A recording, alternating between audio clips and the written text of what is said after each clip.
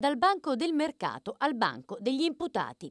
Bistecche e salumi al centro della puntata ieri sera di Nessun Dorma dopo l'allarme di lunedì dell'Organizzazione Mondiale della Sanità che ha inserito le carni rosse, in particolare quelle lavorate, nei gruppi di alimenti cancerogeni.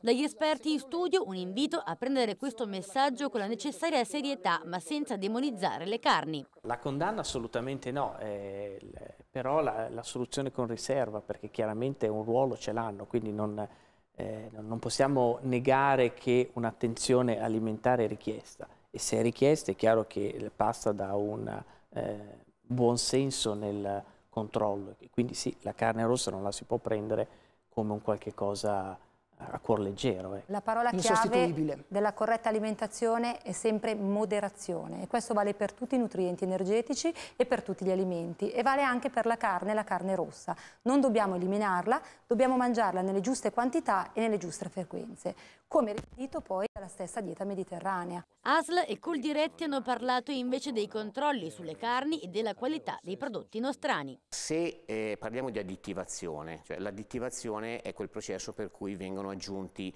eh, degli additivi alle carni trasformate. Facciamo un esempio che tutti capiscono, eh, il salame o la salsiccia.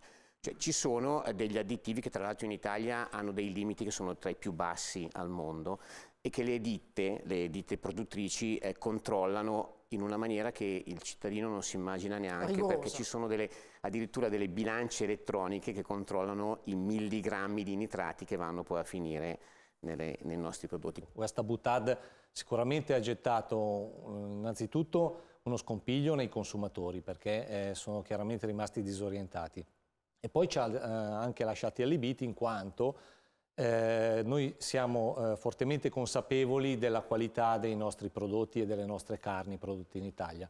In Italia gli allevamenti sono tra i più controllati al mondo. In studio si è poi innescato un dibattito acceso e animato fra rappresentanti del mondo vegano e sostenitori della validità nutrizionale della carne.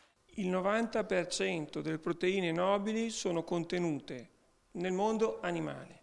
Quindi il mondo vegetale non può sopperire e apportare il mm, potere nutrizionale che serve soprattutto quando si è nell'età adolescenziale o infantile. Io lo trovo un pochettino imprudente dire che l'OMS fa una buttata piuttosto che fa dell'allarmismo. Se lo fa, qualcuno mi deve dire perché. Qual è il movente tale per cui l'OMS, che è il massimo organo della, della sanità che abbiamo, no? noi ci dobbiamo rifare a quello. Io non, eh, Lei io, io non ho uno strumento migliore. La puntata si è chiusa con un intervento di Fabrizio Bonaccina, produttore di carni, che ha strappato un sorriso al pubblico. Io arrivo dalla Brianza, provincia di Como, eh, weekend dei santi, tradizione mangiare la cazzuola, eh, domenica a casa nostra si mangia la cazzuola con le verze dell'orto.